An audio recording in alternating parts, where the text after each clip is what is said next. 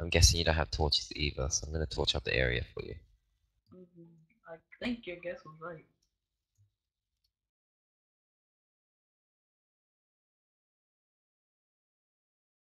If only we can use like rope for like a grapple or something.